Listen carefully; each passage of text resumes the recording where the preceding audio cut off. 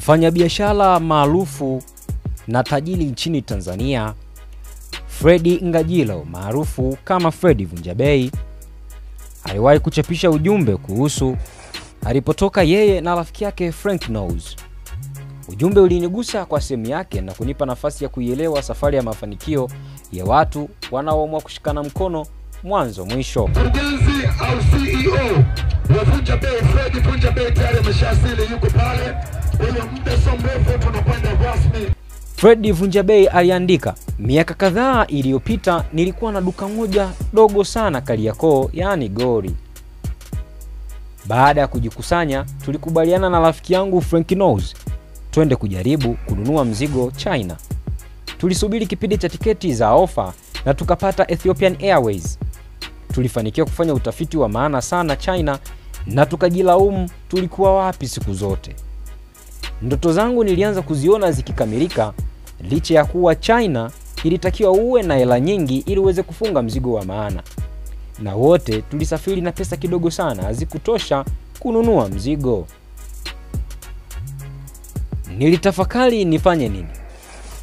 Hesabu zetu zilionyesha kununua mzigo mdogo China ni kazi bure na hela itapotea.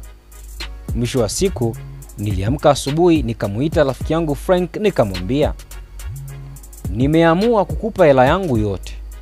Ukifanikiwa utanishika mkono, ukifeli tutakuwa tumejifunza kitu. Alinishangaa sana alipojumlisha na yake ikawa milioni kumi na mbili jumla. Nilifanya hivyo kwa sababu zifuatazo. Moja, nilijua lazima mmoja wetu akubali kuwa na subla na mwingine atangulie, kwani urafiki wetu hatukuwahi kuweka wivu na ubinafsi mbele.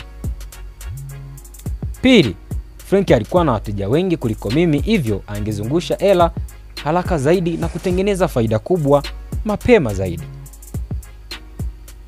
Ni vyema kukubali ukweli. Nilimwacha Frank akazungusha hela kwa muda kama wa miezi sita na alikuwa akisafiri mara kwa mara. Nilifurahi kumwona akifanikiwa na nilimsaidia sana kutafuta wateja na kumshauri.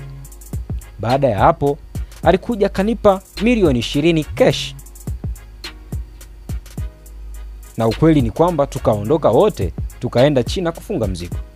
Nilifunga mzigo mzuri sana sababu Frank alipata experience kubwa na alikuwa ananionyesha masoko mazuri bila kuona wivu.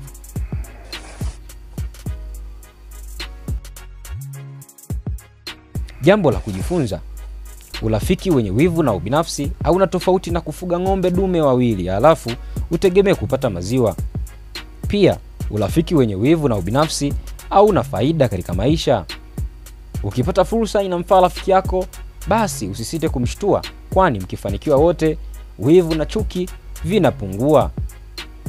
Leo hii ukitaja Vunja Bei unataja kampuni kubwa inayotoa ajira kwa vijana wengi sana na kampuni yenye maduka makubwa ya nguo nchi nzima, maduka ambayo hufurika mamia ya watu hasa siku za sikukuu, wakiwa na hamu ya kununua nguo za aina tofauti tofauti. Nguo hizo zinaweza zikawa zinapatikana sehemu nyingine au kwenye maduka mengine, lakini watu watajazana kwenye maduka ya Vunja Bei, kwani jina ni kubwa na kwao ni kipaumbele cha kwanza. Anastahili maua yake, basi tumpe Fred Vunja Bei maua yake. Kuhusu basi kumchongea sanamu, wewe utaamua sanamu nake liwekwe wapi. Hii ni Focus Digital, Focus D I G I T O.